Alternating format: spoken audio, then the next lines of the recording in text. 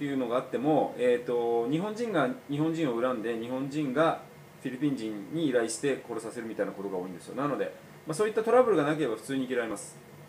であの危険な国フィリピンはどうでしょうかと。東南アジア移住したい方からのご質問で危険な国フィリピンは大丈夫なんですか？現状はどうですか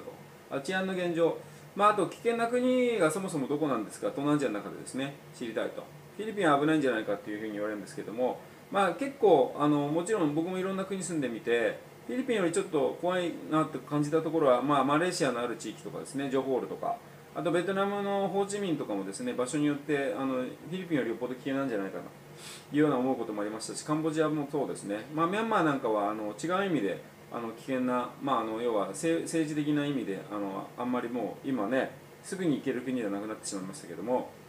まあ、今のところですね。でフィリピンはですね、えー、と比較的安定はしてますね。でもちろん行っていけない場所